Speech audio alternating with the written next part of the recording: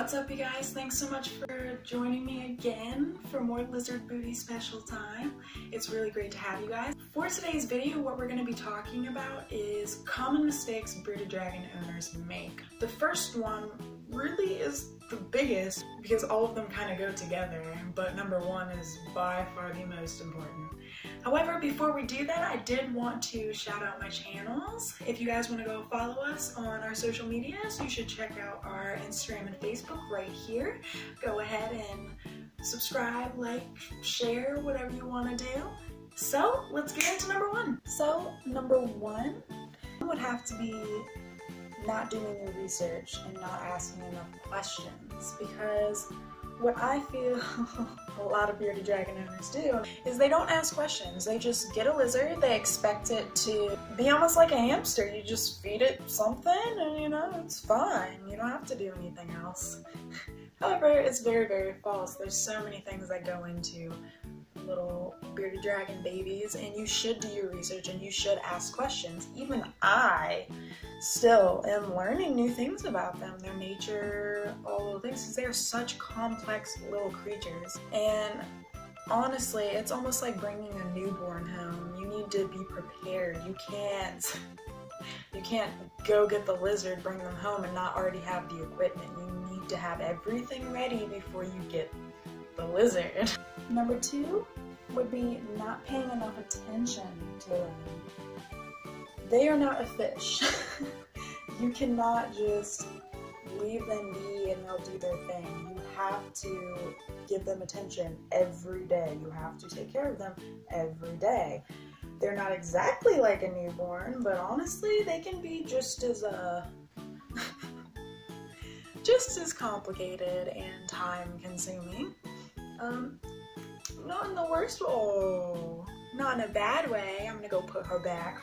My point is, is that you have to pay attention. You have to learn their characteristics. This goes into doing the research because if you don't do the research, you're not gonna know what to look for. So it's gonna be hard to pay attention because you don't know what you're paying attention to. So it's really good to do your research. It's good to pay attention. You have to pay attention to things. Um, because honestly, if you don't pay attention, you're not going to know if they're sick. They are really, really good at hiding it. So you have to know your lizard. And you also have to know their body language, all part of paying attention to the animal.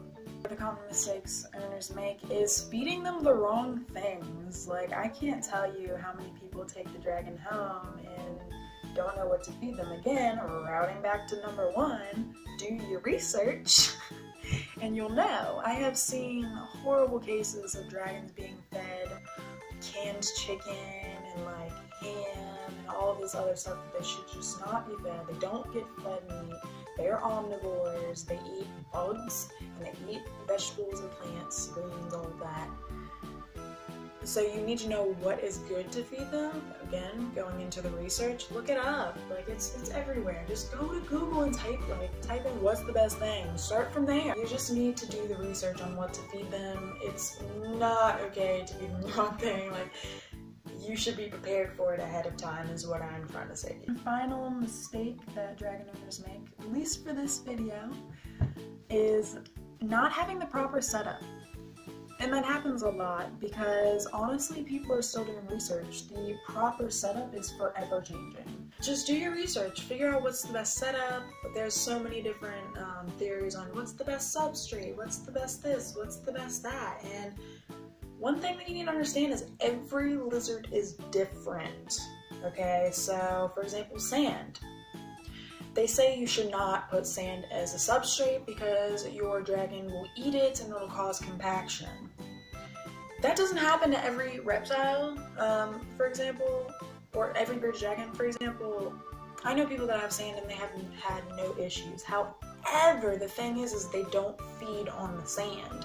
They have different areas for the dragon feed. So it depends on your dragon, I guess. Mine could not do sand because no matter what, they always ate it, like just licking it, whatever, they always ate it. Again, do your research and you won't have these problems. Alrighty, you guys, thanks so much for watching and from my family to yours, have a wonderful, wonderful week.